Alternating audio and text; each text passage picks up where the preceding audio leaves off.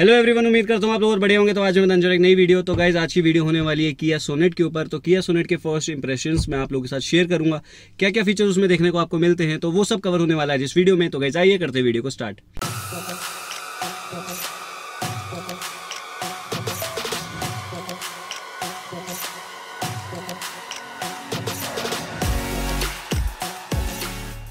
तो गई सबसे पहले शुरू करते हैं बाहर से बात। तो अगर आप एक्सटीरियर देखोगे ना तो इसका भी लुक जैसे किया सेल्टोस का मस्कुलर है, वैसे ये भी लगता है।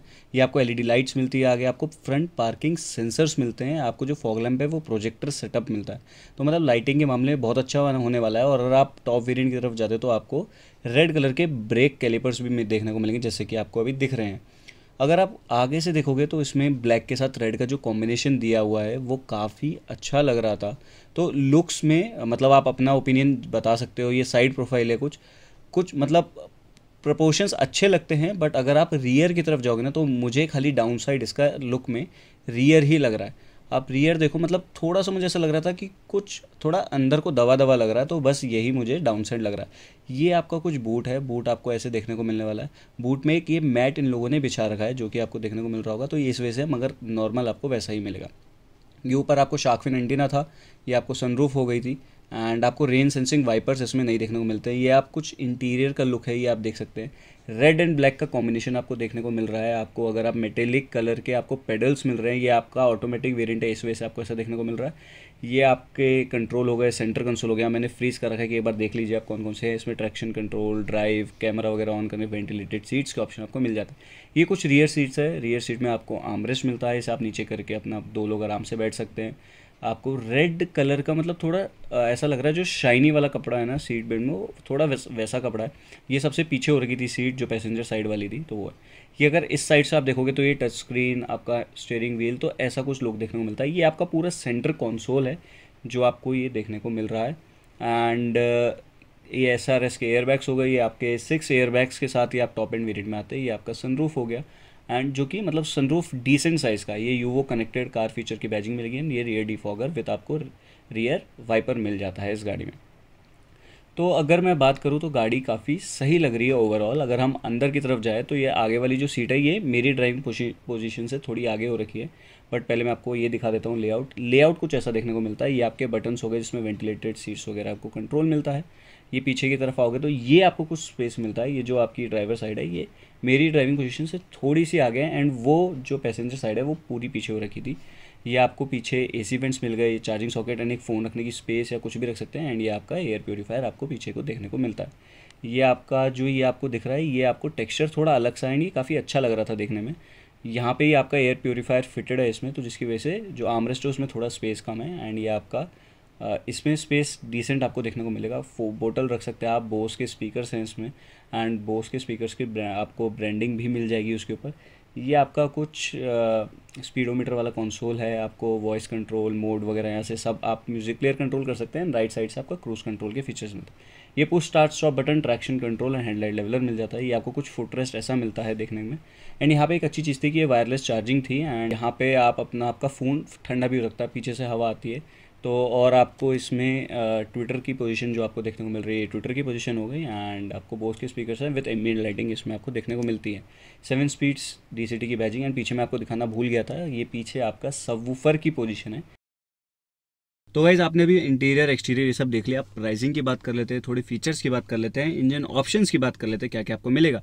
तो गाइज़ इसमें आपको पेट्रोल 1.2 लीटर का मिलेगा जो आपको आई ट्वेंटी वगैरह टाइप में गाड़ियों में मिल i ten grand i ten सब में देखने को मिलता है। आपको टर्बोचार्ज पेट्रोल इंजन देखने को मिलेगा 1.0 हज़ार सीसी का इंजन है, जो कि आपको वेन्यू में ऑलरेडी देखने को मिलता है। सिमिलरली आपको एक डीजल में 1.5 लीटर का डीजल इंजन देखने को मिलने वाला है। सारे बी एस कंप्लाइंट है। सेम इंजन ऑप्शन आपको वेन्यू में भी देखने को मिल रहे हैं। उसके साथ आपको जो टर्बोचार्ज पेट्रोल इंजन है, उसके साथ आपको डीसीटी का ऑप्शन मिलेगा। सिमिलरली आपको ऑटोमेटिक का ऑप्शन आपको डीजल में भी मिलेगा। तो अगर हम बात करें प्राइसिंग की या वेरिएंट्स की तो लगभग डीजल में आठ वेरिएंट एक्सपेक्टेड है जो आएँगे। मतलब आठ वेरिएंट आएँगे इंक्लूडिंग ऑटोमेटिक छः नॉर्मल दो ऑटोमेटिक एंड जो डीजल की बेस प्राइस मैं एक्स मैं एक्सपेक्ट कर रहा हूँ, वो होनी चाहिए कुछ आठ लाख से वन ए, मतलब एट लैख से एट पॉइंट टू फाइव के बीच में एक्स शोरूम की बात करूँ क्योंकि आपकी सिटी या लोकेशन के हिसाब से प्राइस वेरी कर सकती है।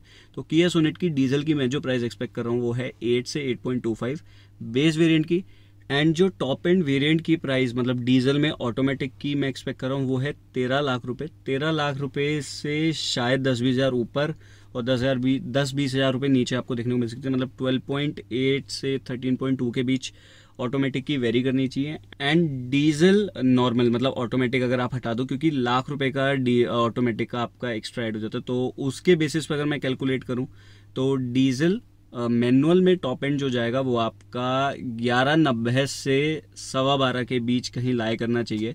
तो इसके बीच में आती तो प्राइस सही हूँ क्योंकि इसमें फीचर्स भी काफ़ी अच्छे हैं। मतलब इको स्पोर्ट का टॉप इससे थोड़ा कम आता है अगर इको स्पोर्ट में जैसे मैं बैठा हूँ तो बट इसमें फीचर्स ज़्यादा तो मैं एक्सपेक्ट करूँगी, उससे थोड़ी एक्सपेंसिव होगी। एंड बट फीचर्स के मुकाबले में मतलब जो फीचर्स मिल रहे हैं, उसके लिए मतलब वर्थ इट है जो ये प्राइस आएगी।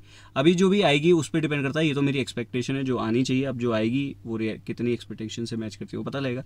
सेम आपकी पेट्रोल में अगर मैं बात करूँ तो सात लाख रुपये के अराउंड आपको जो बारह सौ वाला इंजन है, वो जनरली लोग कम लेंगे।